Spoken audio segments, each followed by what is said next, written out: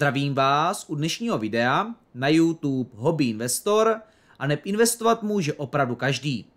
Dnes opět netradičně video tedy s updatem, co se týká mých nákupů za měsíc listopad eh, v netradiční čas a to je v úterý a potom i v pozdních večerních hodinách. Podíváme se samozřejmě i na to, jak se dařilo různým akciovým indexům od začátku roku a samozřejmě za minulý týden.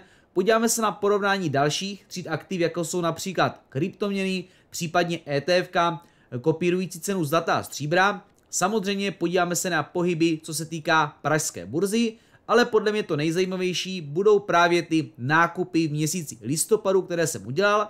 Samozřejmě podíváme se i na to, do čeho by v současné době šlo zainvestovat, protože už je ten přelom konce měsíce listopadu, takže už pomalinku se díváme i na to, co bychom mohli nakupovat v měsíci prosinci, takže na to se samozřejmě taky podíváme. Pokud se vám toto video bude líbit, tak rozhodně nezapomeňte dát like, pokud ještě nemáte odběr, tak si nezapomeňte zakliknout odběr a půjdeme na dnešní video. Jak už tradičně bývá, podíváme se na stránku Google Finance, kde se podíváme na porovnání čtyř akciových indexů. Vidíme tady německý index DAX, který za poslední týden je v plusu procentu a půl. Dále anglický index FTSE 100, který je v plusu 0,5 desetin. Dále japonský index Nikkei, který je v plusu 0,4 desetiny. A americký index S&P 500, který je v plusu 0,6 desetin. Když se podíváme na to čtyři indexy od začátku roku, vidíme, že jediný, který je v mínusu, je anglický FTSE 100, minus skoro procento. Dále tady máme německý index DAX plus 13%, potom americký index S&P 500 18,6% a japonský Nikkei plus skoro 30% a vypadá to, že jsme se dostali na ty totální maxima, které byly mírně eh, přes 30%, 31%, takže skoro eh, jsme na maximech, co se týká zhodnocení u indexu japonského Nikkei 225. Když se podíváme na další 3D aktiv, jako jsou právě kryptoměny, vidíme, že za minulý týden Bitcoin plus 2%, Ethereum plus 0,7 skoro, ETF na zlato plus taky skoro 2%, 1,8 a ETF na stříbro plus přes 2%. Když se podíváme na to 4 3D aktiv od začátku roku, vidíme, že v mínusu je ETF na stříbro minus procento, Dále tu máme ETF na zlato plus 8%. Dále ETF, nebo tedy pardon, Ethereum plus 65%. A dále Bitcoin přes 122%. 125,1%. Teď se podíváme na to, jak se dneska vyvíjela pražská burza. Když se na ní podíváme, vidíme, že jsme byli plus minus na nule, možná tady chvilkově jsme byli v nějakém mínusu. Když se podíváme na velké pohyby, vidíme tady společnost Colt minus 3%, vidíme tady CTP minus 4%, na druhou stranu do plusu Gen Digital plus 6,5% a Colosseum plus 14%. Když se na to podíváme, tak ten pohyb u Coltu byl opravdu značný, minus 3% na cenu kolem 530 korun, takže uvidíme. Možná by to mohl být jeden z těch adeptů, do kterého by se dalo zvažovat nakoupit v měsíci prosinci, pokud ty ceny zůstanou na těchto úrovních, případně půjdou trošičku níže. Dále nějaké větší pohyby vidíme RST plus 0,8, Komerční banka taky samozřejmě velice pěkná cena, minus 1% dneska a Moneta plus 1%, Philip Morris plus 0,5. Když se ještě podíváme na trh Start, kde mám vlastně nakoupenou jednu společnost, a to společnost Gevorkian, vidíme vlastně Colosseum, Eh, pohyb plus 14%, Gevorkian minus do 1%, Karo eh, minus 1,8, MCT plus procento skoro, Pilulka minus 0,4, takže žádné velké pohyby eh, tady na trhu start nebyly. A teď už se půjdeme podívat na to, co jsem vlastně měsíci listopadu nakoupil. Samozřejmě nakupoval jsem pouze jednotlivé tituly, ale nakupoval jsem i ETF, na to se taky samozřejmě podíváme a Řekneme si o tom a podíváme se samozřejmě i na update, eh, co se týká brokera eToro. Takže jdeme na to. Když se podíváme na dnešní pohyby, co se týká brokera eToro, dnes se mínusu nějaké 0,3 desetiny. Investovaná částka 16 078 dolarů, hotovost pouze z dividend, případně co mi tady zůstalo, když jsem si tady nějaké prostředky navíc nahrál a něco nakoupil. A kapitálové zhodnocení plus 363, 364 dolarů. Když se podíváme dneska na eh, velké hybatele do plusu, vidíme tady společnost Barry Gold plus skoro 3%, dále společnost Markel plus 2%, společnost Tesla skoro 2%, ETF na stříbro plus 1,4% a společnost z, ze sektoru základní materiálu Southern Copper Corporation plus 1,4 desetiny. Když se podíváme do mínusu na velké hybatele, vidíme tady spíše ty rizikovější společnosti, jako je společnost Virgin Galactic minus 9%, Plug Power minus 8%, Medical Properties Trust minus skoro 6%, NIO minus 4,5% a společnost Renault skoro minus 4%.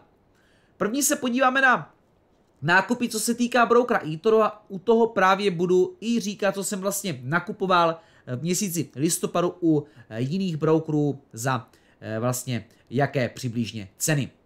Když se podívám na poslední nákupy, tak můj poslední nákup je společnost Alibaba, kterou jsem vlastně ještě nakupoval v minulém týdnu, což je taky nákup za měsíc listopad. Mé nákupy měsíci listopadu Alibaba minus 7,6, Plug Power, ale to bylo pouze z dividend, pouze dva kousky, Tesla v plusu 15,5, další Alibaba minus 4 a poslední Alibaba nakoupena za 52, co mi tady zůstalo z toho, co jsem si nahrál navíc, plus 1,4 desetiny.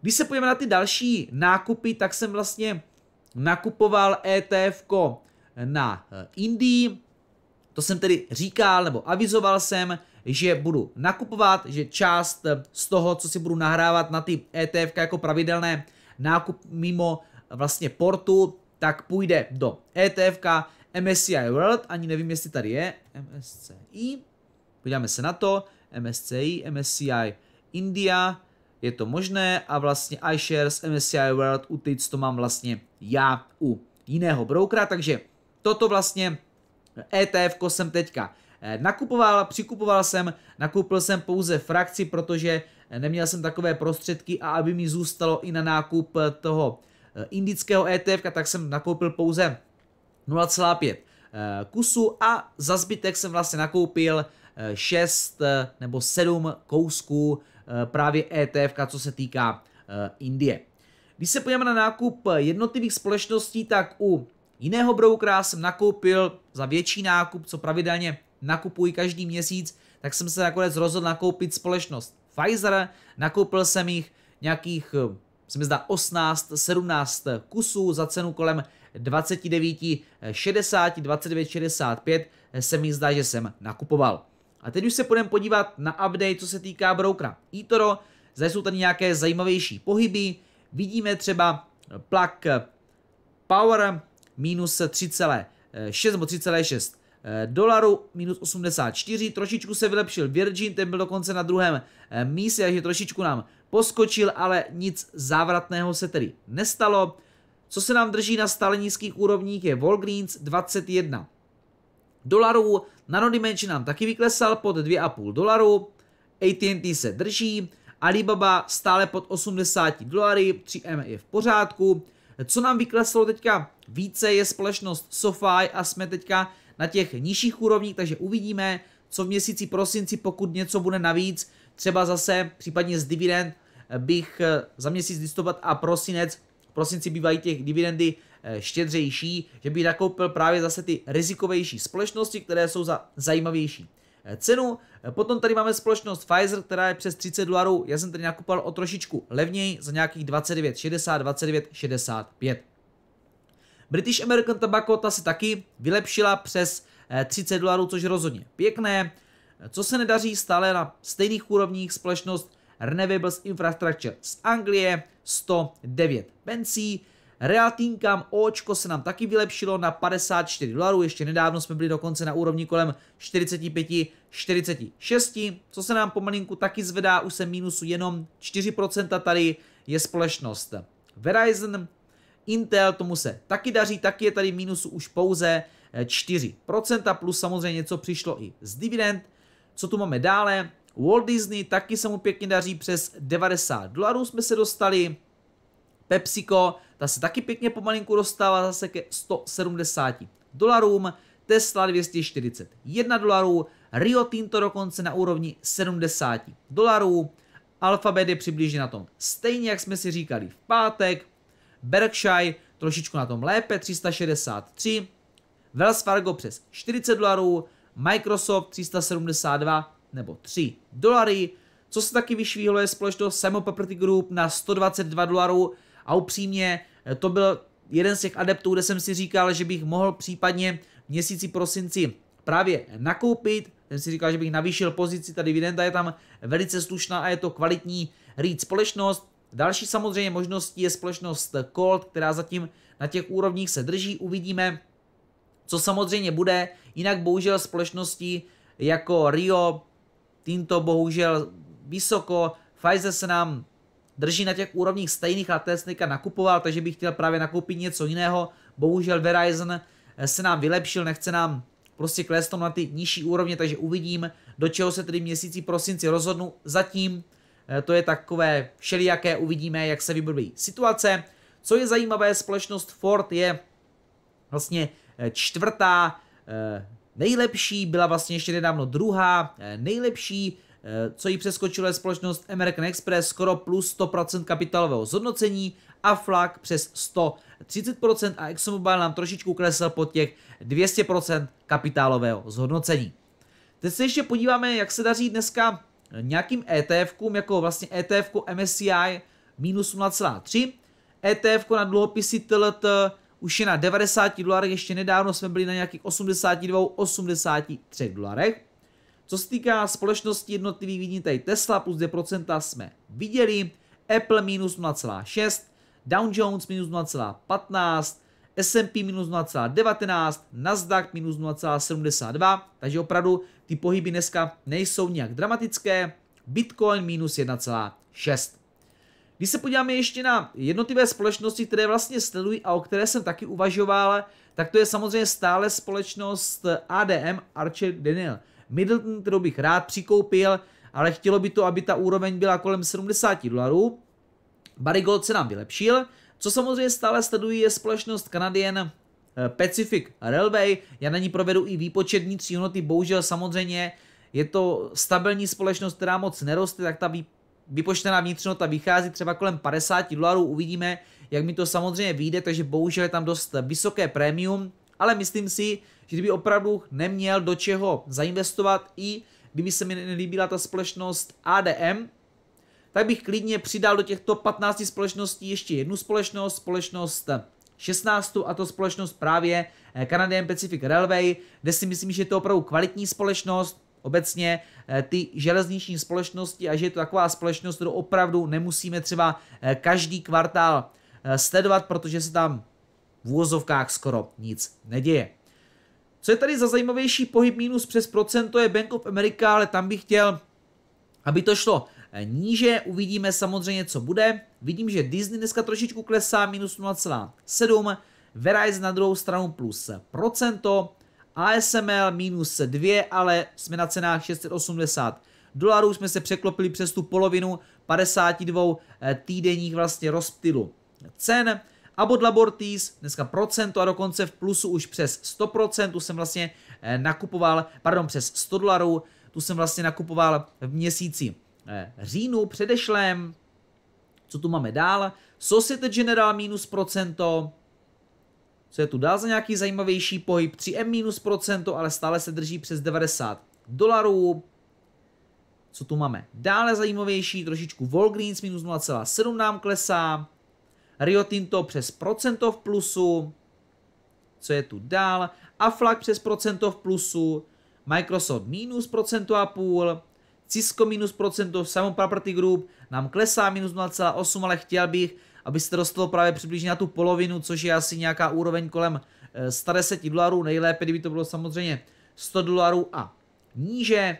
Plak jsme vlastně viděli, Nanonimange minus 2,8, Markel jsme viděli, Metro minus přes 3%, Ford minus 1,7, SoFi minus 2,3 a Bank of Nova Scotia minus 0,6. To je tedy z dnešního videa všechno. Pokud se vám toto video líbilo, tak rozhodně nezapomeňte dát like, tím tento kanál podpoříte, moc vám za to děkuji. Každý like moc pomůže, protože YouTube algoritmus bude potom více nabízet toto video novým sledujícím. Pokud máte jakýkoliv dotaz, rozhodně ho napište dole pod video do komentáře. Rozhodně napište, zda už jste nějakou společnost, případně ETF, pokud nakupujete pravidelně v měsíci listopadu nakoupili, tak rozhodně napište. Budu vám vděčný případně za nějaké eh, zajímavé třeba náměty pro tvorbu eh, dalších videí, za to vám budu samozřejmě taky vděčný. Pokud jste na tomto kanále noví, případně tento kanál už delší dobu sledujete, ale ještě nemáte odběr, tak si nezapomeňte zakliknout odběr, ať vám nouteče další nové video. Stále vás tady hodně, co tento kanál sledujete, za což vám moc děkuji, ale ještě nemáte odběr, tak si ho nezapomeňte zakliknout. To je tedy z dnešního videa všechno, mějte se hezky a budu se těšit u dalšího videa. Naschranou. There's a company behind every stock. If a company does well, the stock does well. It's not that complicated. People get too carried away. And first of all, they try and predict the stock market. That is a total waste of time. No one can predict the stock market. When I own auto stocks, I want to know what's happening to used car prices. When used car prices are going up, it's a very good indicator. When I own chemical stocks, I want to know what's happening to the price of ethylene. These are facts.